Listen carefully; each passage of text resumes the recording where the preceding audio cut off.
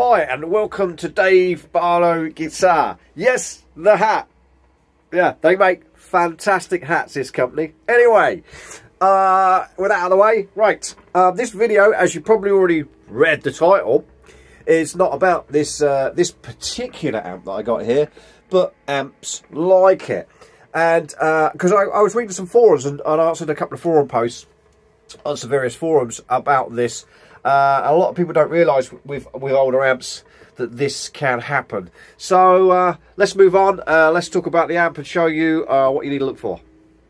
Right, this is a Marshall uh, 75, but it could be any uh, amplifier like it. Um, it's it's coming for repair and it's kind of been repaired. I don't know who. This wasn't me, by the way. I never did this. Um, uh, this there's a whole new story. The, the switch is a whole new story. I'm going to probably cover that in, a, in another video about switches and suppressions and all that kind of stuff and all that. Yeah, it's just just forget that for a minute. But anyway, so if we have a listen, there's a little bit of a crack. I can actually make that a little bit more apparent.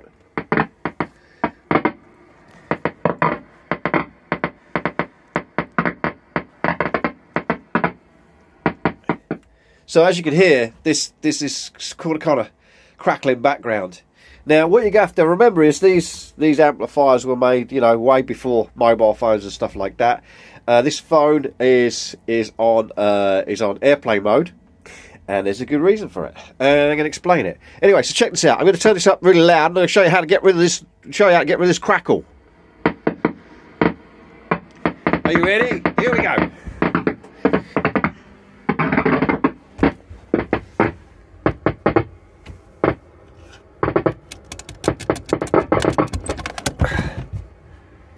There you go. Crackle gone. So basically, for those who don't know what I just did, that was my Wi-Fi I just unplugged. Uh, which is plugged into the mains, which kind of gets a signal from the house. So, that's what you're hearing, interference. So, uh, before you send your amplifier to your repair guy, make sure you check that out. Also check that uh, there's no interference with your, with your telephone or your mobile. Sorry, your mobile phone. Did you like that interesting piece of information? I hope you did. If so, give me a thumbs up on the video because it helps, you know, it helps, you know, in the algorithms and stuff. Um, if you don't want people to find me in algorithms, put a thumbs down. That's that's fair enough. Put some comments in the bottom. Let me know if you have any issues with your amp and I'll answer your questions for you.